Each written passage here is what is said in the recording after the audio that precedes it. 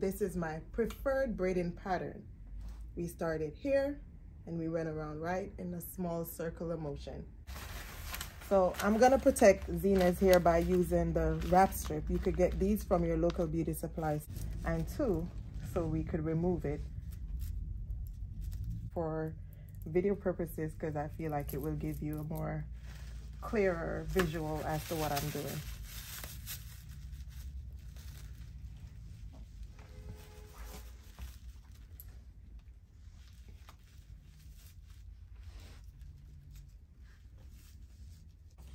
So I'm going to be using the 28 pieces from the Janet collection.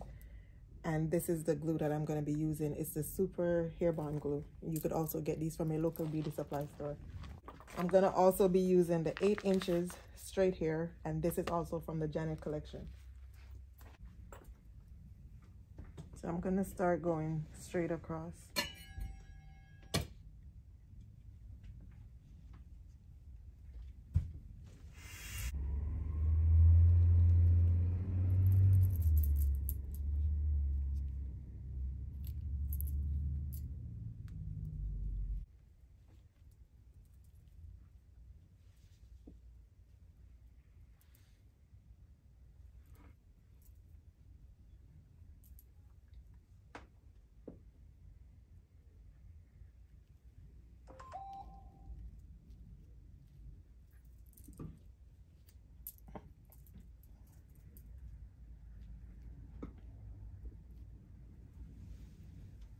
Once I get to the sideburns, I'm going to go completely across in a straight line. I don't swing my track like this because I don't want it to be too heavy on her face and then we're going to have to go in with a lot of detailing, um, cutting to get it off or to get it to look as natural. So I'll try my best to keep it as straight as possible. So pay attention, I'm just letting it sit right here and literally just placing it. No stretch, just placing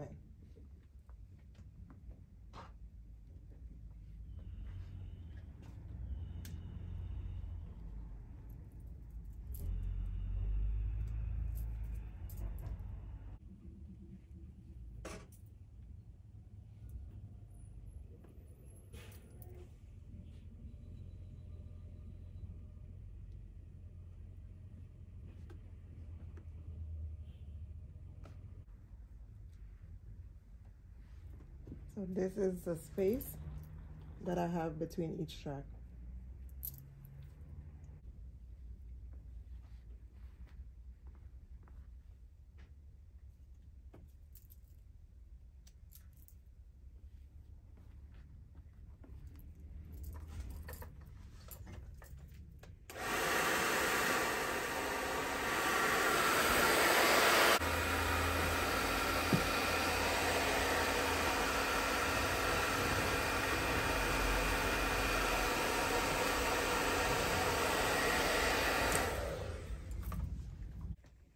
Okay, so now that I'm at the front, I'm gonna be going across in a straight motion. As you can see, I pre-glued it so you could see that.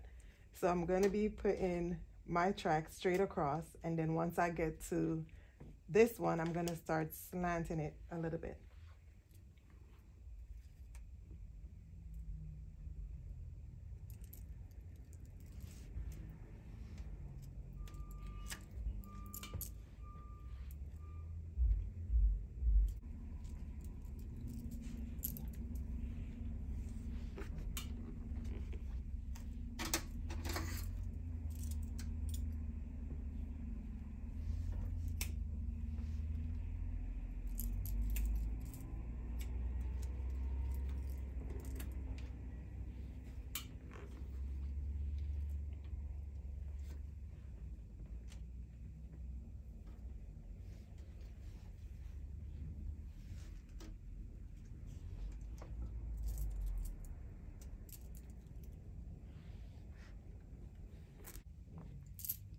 This is where I want my crown to sit. So I want my closure piece to be sitting right here. So I'm gonna keep going around in a circular motion with the hair until I get to this point.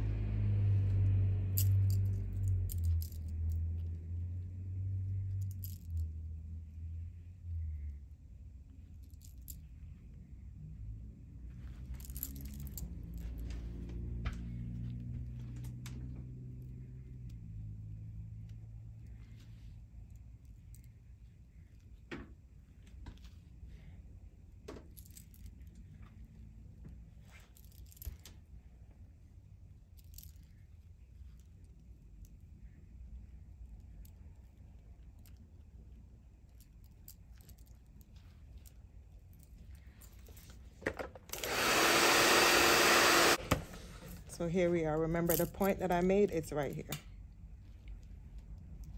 So I'm gonna go ahead and make my own closure piece so it fits perfectly within that point.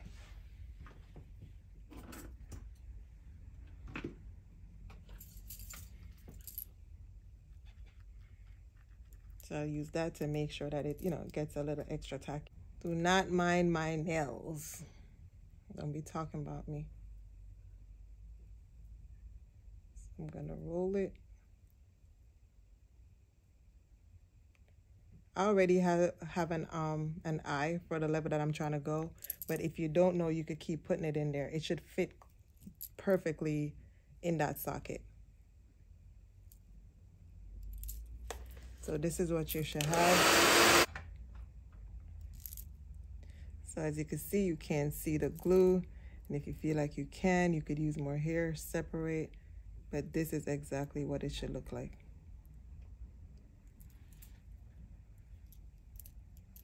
So I'm gonna go ahead and put some more glue right here. You don't have to put too much because remember you already put it right there and that's already um, drying so it's tacky enough to hold on to it and then you want to go ahead and place your closure piece in here. See that? Nice and seamless. And we're gonna go go ahead and pick out these gray hair that we'll have throughout the hair. So let's secure closure by drawing it in.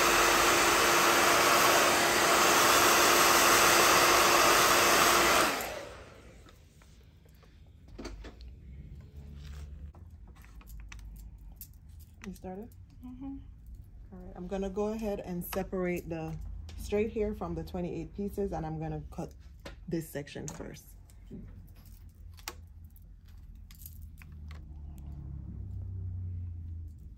If you're new to cutting, I recommend you use this. You could get this from your local beauty supply store and you would use this section.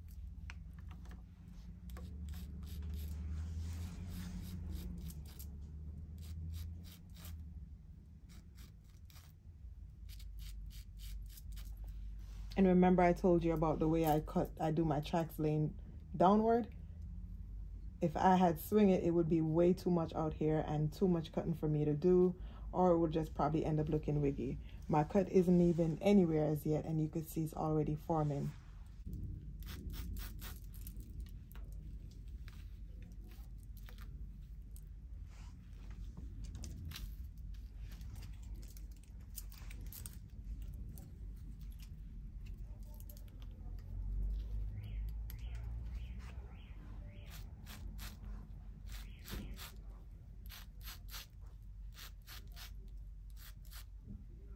So you see I'm lifting the hair. I'm lifting the hair to show you guys exactly what to do if you're going ahead with these shears so you don't go too close to the weft.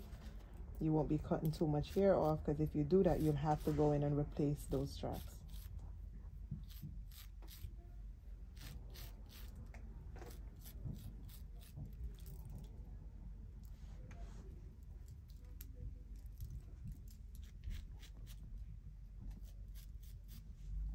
This is where a lot of detailing comes in for me because she already has her natural hairline, which is nice and soft, and I don't want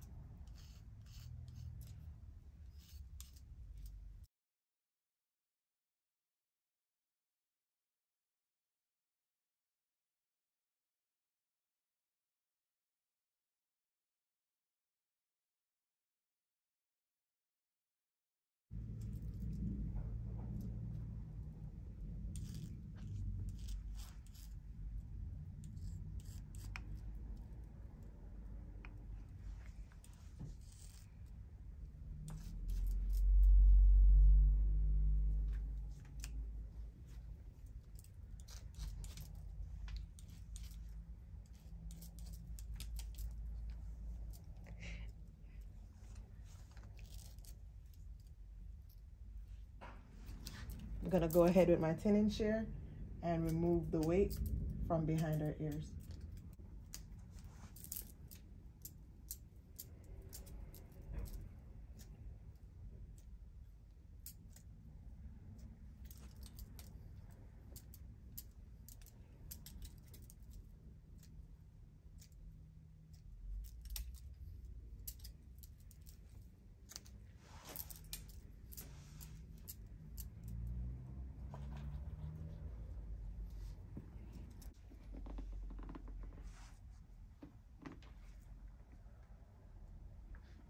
Now we're gonna cut her bangs. And the bangs is completely dependent on how your client wears her hair.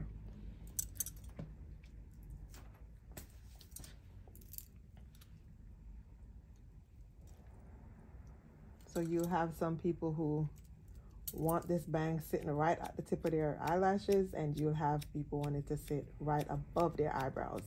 So it completely depends on your client how she wears her hair.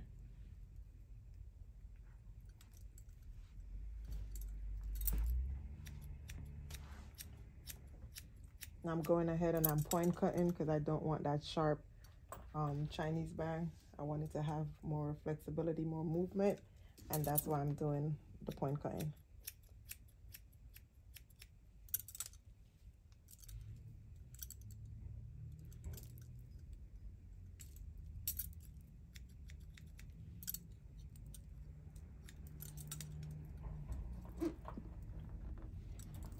Gonna um, cut the entire bang before I move around her perimeter.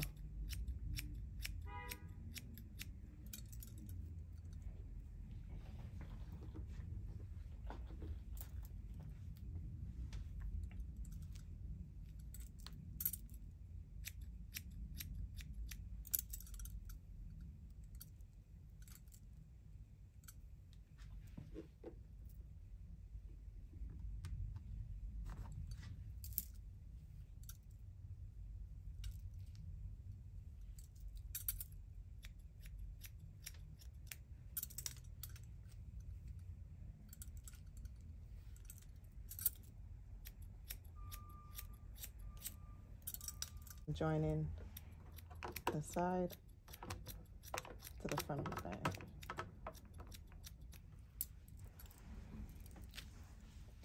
So you should be looking just like this.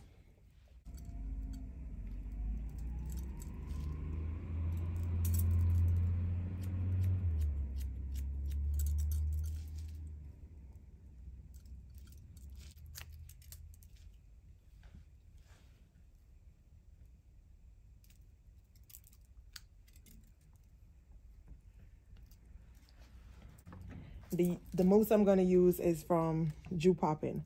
I use this one. I use the Nairobi. So whatever you do have that you already like, you could go ahead and use. I like this one because it gives it a little hold. And it's also workable.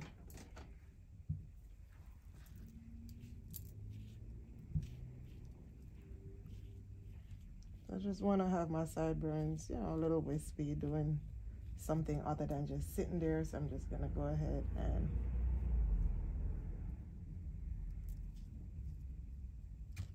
create something.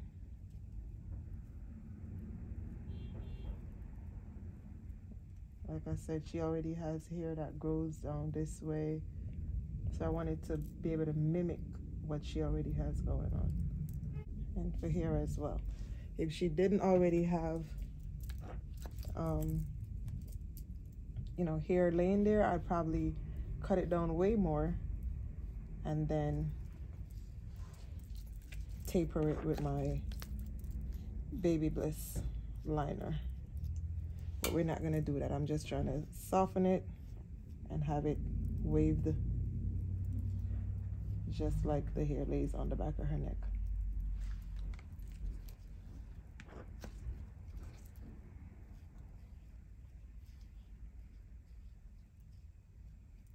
This step is not essential. You could skip this step and this is also completely dependent on the client that you're working with and exactly how their hair lay. if you have somebody that already has a shaved hairline, you could literally just thin it out more and shave the hair, the back of the hair.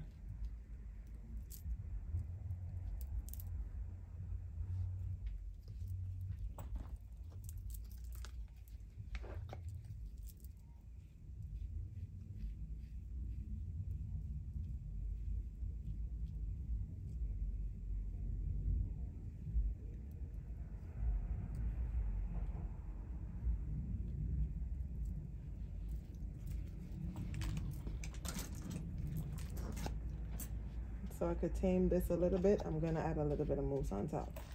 Nothing crazy. You could go ahead and mold this down more as well if you need to.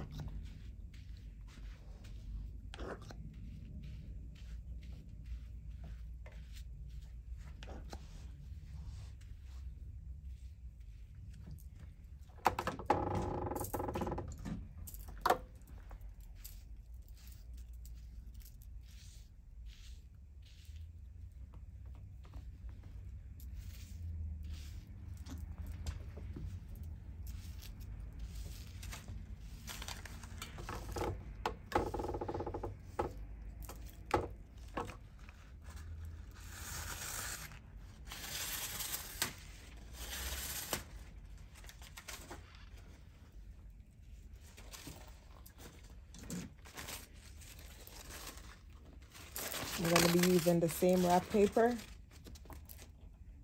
securing that, securing her sideburns. I'm going to tie her and put her under the dryer. Like I said, no more than 10, 15 minutes. Okay, you can cut it ears that I feel like is a little bit heavy, I'm gonna go ahead and take out some.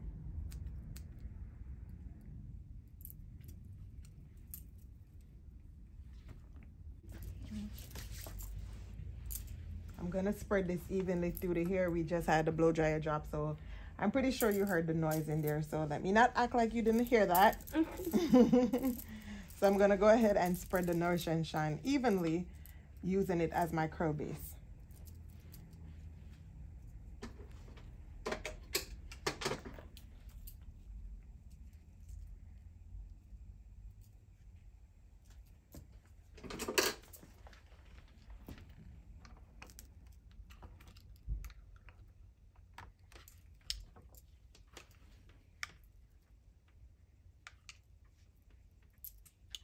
We're just lightly bumping this because we don't want any curls to be defined. And I'm doing, so for the upper part, I'm gonna curl it this way. And on the other side, I'm gonna curl it going that way.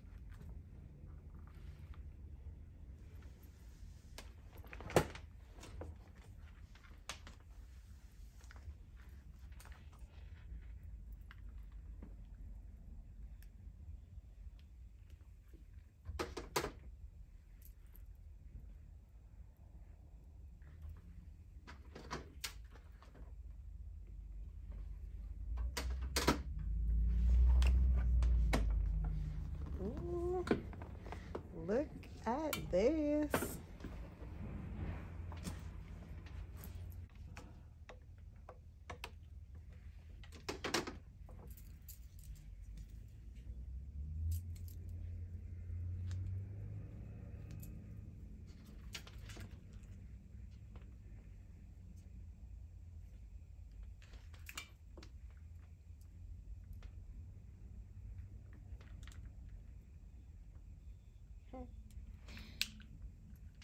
Get a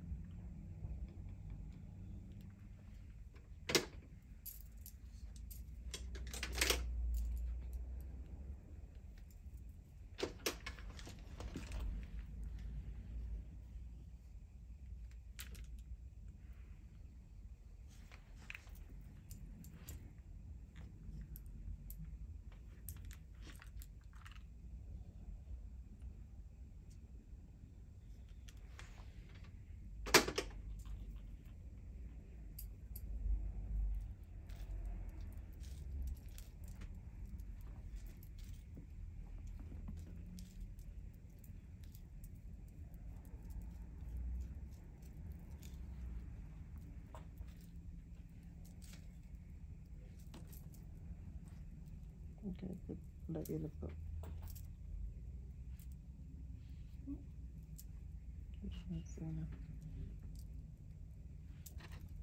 Yes. yes. Uh-uh. Woo. So you see this movement? And you could also take it down if we don't want all that drama. Take it down.